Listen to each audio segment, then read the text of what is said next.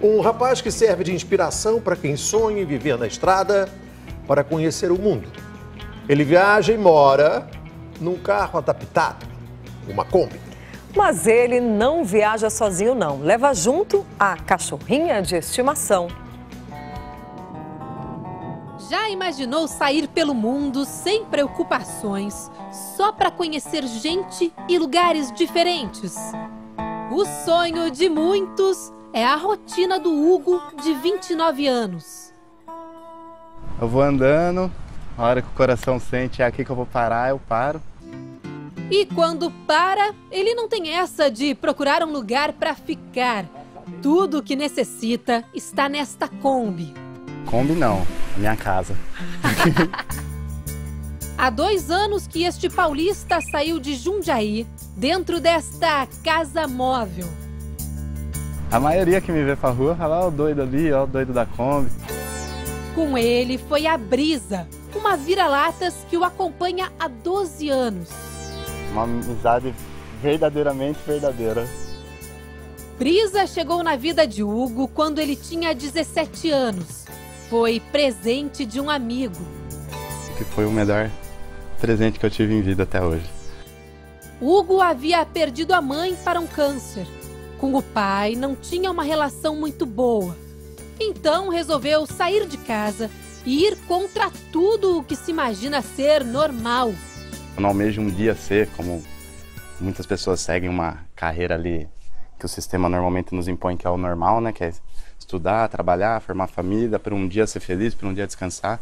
Eu quero ser feliz todos os dias. Não quero chegar a lugar nenhum, já cheguei.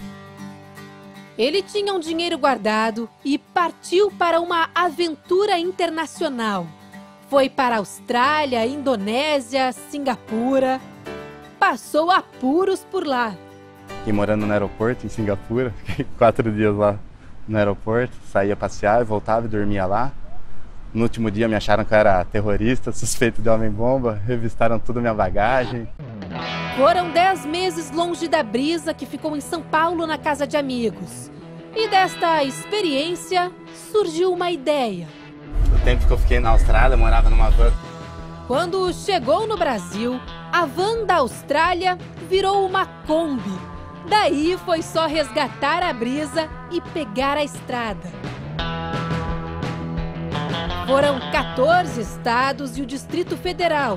Tudo feito a bordo da Kombi personalizada. A Kombi, por mais que seja pequenininha, tem tudo que nós precisamos e um pouco mais. Tem coisa que nós estamos aqui, inclusive, que não usamos há bastante tempo.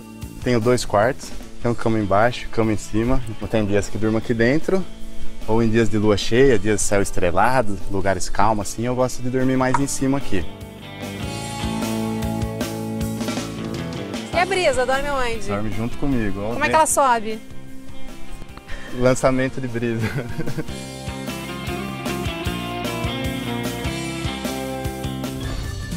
O café da manhã é servido com estilo, com frutas fresquinhas, conservadas numa pequena geladeira.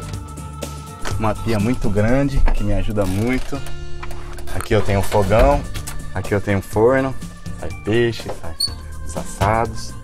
E aí, onde é que tu guarda as tuas coisas? Tem armário? Como é que funciona? Tem, aqui eu tenho meus armários divididos. Eu tenho toque. Tenho, imagine um cara que mora num carro que tem toque de organização e alinhamento. Então ali minha namorada, minha prancha. Aqui ficam minhas roupas. Então assim, blusa, bermuda, roupa de surf. Aqui ficam outras camisetas, outras coisas. Surfar é uma das paixões do Hugo. Por isso, a preferência pelo litoral. Neste momento, Hugo está em Búzios, na região dos lagos, no estado do Rio. Tudo, claro, a bordo da Casa Móvel. Eu não faço ideia como eu vim parar aqui em Búzios, aqui, que na ida eu subi, fomos para o Nordeste, fomos até o Rio Grande do Norte e pulamos o Rio de Janeiro. Depois descemos, tive um sonho com a Praia do Rosa, em Santa Catarina. Fomos até Santa Catarina, Praia do Rosa. Praia do Rosa começou um frio pra caramba, brisa tremendo, eu sem roupa de frio, minhas roupas embolorando tudo no carro que não tinha como secar. E surgiu um convite para ir trabalhar em Angra dos Reis. Eu voltei tudo, subi para Angra dos Reis. De Angra dos Reis fomos para Ilha Grande, arrumei um trabalho lá também, passamos um mês em Ilha Grande. de Ilha Grande conheci duas meninas que estavam seguindo viagem para cá, para Búzios. Já que estava aqui, resolveu trabalhar para levantar um dinheiro, como faz em todos os lugares onde para. Aproveitou a experiência de viajante e ajudou a montar um pequeno hotel. A única exigência que fez que a Brisa pudesse ficar junto. A Brisa aqui tem livre acesso. Tem, a Brisa é a recepcionista, a mascote, a personagem principal. E ela cumpre bem as funções e até conquista os hóspedes. Foi buscar a gente na rodoviária e agora tá aqui junto. E se eu saio, ela me espera perto da Kombi. Onde a Kombi tá, ela assimila que é a casa dela. Hugo e Brisa trabalham cinco dias por semana.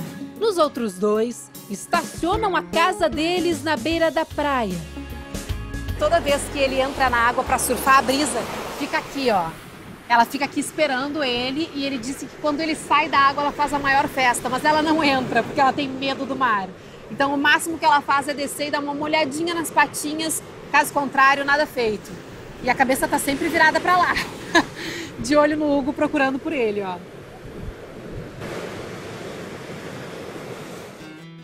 Brisa já teve filhos, netos e bisnetos que foram doados para os amigos de Hugo.